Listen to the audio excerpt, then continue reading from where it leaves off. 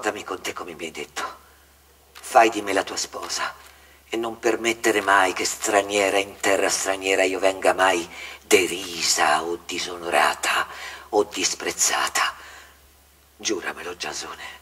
E ti siano testimoni gli dei di Grecia e le divinità di Colchis. Sì, Medea, se mai tornerò in patria sarai mia sposa legittima. Ho detto giuramelo. Te lo giuro. Io senza in Grecia non posso tornare. Ti mieterà veleno, farà di te una statua di carne. Obbediscimi, moglie! Ti inghiottirà vivo. Io non sono venuto qui per tornare in Grecia a mani vuote.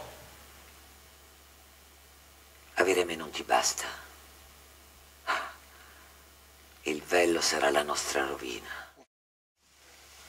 Ma perché non era forse una soluzione ripudiare la Barbara, la Barbara e sposarsi la figlia del re di Corinto? Tagliare di netto l'intrico, il nodo, l'errore di gioventù e ricominciare da capo? Dimenticare, rimuovere, cambiare vita? A un certo punto in un matrimonio non lo pensano tutti. Creusa non aspettava che un mio cenno, un sì, una sillaba, una sillaba e la miseria via, dissolta. Era pensare male questo? Donne disprezzate, umiliate, picchiate, calpestate davanti ai figli. I figli. Figli fantasma. La mia voce non è più la mia voce, è quella di un'ombra. Ombre. Io e i figli. Eppure, eppure, la vita, la sua vittoria, le doveva a me.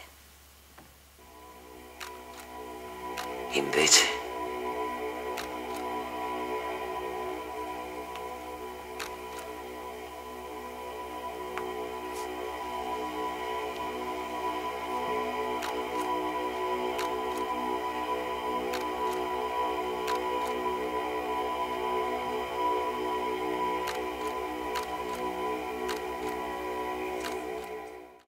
pensavi di liberarti di noi e vivere felice. Felice, infelice, ma almeno vivo. Sì, con una famiglia morta. Con la famiglia morta, io che c'entro? E che è stata allora? Sei stata tu! Tu sei stata, è scritto! Io l'avrò pensato forse qualche volta. Messo così alle strette, ma il pensiero non viene punito, viene punita l'azione. Ah, non sempre, non sempre, perché se il caso è irrisolto, il caso è chiuso, indagini archiviate, e allora la colpa è madre se mi inferma di mente fugge con i figli. È così? Non è questa la verità! Ah, la verità. Vuoi sapere la verità? Non te la ricordi? La verità. Mi è bruciata sul tempo.